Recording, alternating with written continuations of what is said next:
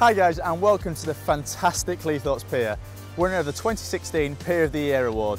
With a stunning view over the beach, the pier has hosted some fantastic live music events, so come and check it out. Here are some other great things you, your family and friends might like to do in North East Lincolnshire this week. It's the first Sunday of the month, which means Snapper Jaxx is back. Bring your children along to this free monthly kids club at Freshney Place Shopping Centre to enjoy interactive workshops and theatrical performances. This month's theme is Fishy Tales.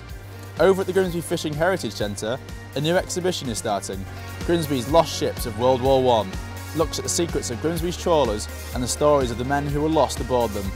It starts this Tuesday, the 5th of July, and runs through until September. Also this week, the Champions Games is taking place at Meridian Showground, and the Caxton Players production, The Collector, is running from Thursday the 30th of June to Saturday the 2nd of July.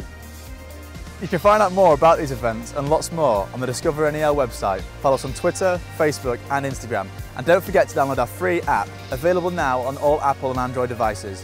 Have a great time whatever you get up to, and I'll see you next week with more things to do in North East Lincolnshire.